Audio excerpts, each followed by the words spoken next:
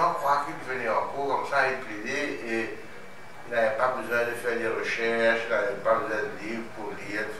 C'est fort, il y a tas de livres ici là. Il se réveillait très tôt et il arrivait ici vers 7h du matin, parfois 6h30. Il prenait ce dossier, prenait ses livres de droit, il le lisait, cherchait des points noirs.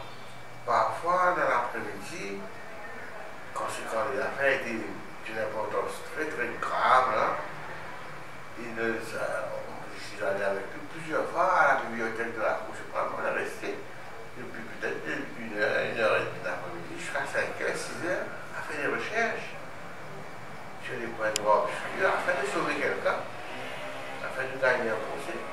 Quelque chose qui était exceptionnel pour lui. La parole. C'est ça sa passion.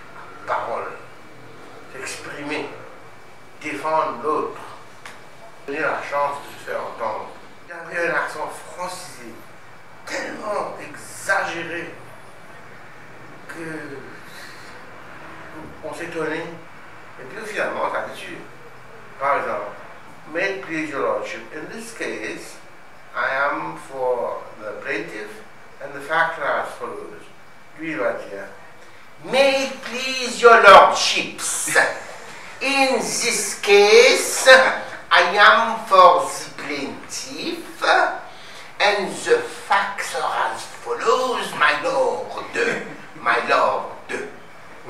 Quand il, quand il dans, les moments où il, il s'échauffait, tout ça, il, avait toujours un accent très français. Je trouve que c'est bien, je parle comme ça. Il a toujours parlé anglais.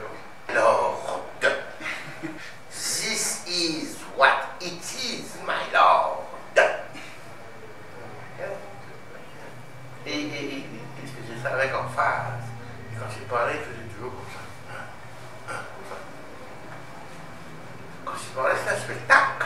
Alors, on va marcher de long en large dans, dans les bandes d'avocats comme ça. Et puis, quand il posait une question, on va les témoins comme ça. Et puis, quand il était assis sous la remarque, il prenait un pan de sa robe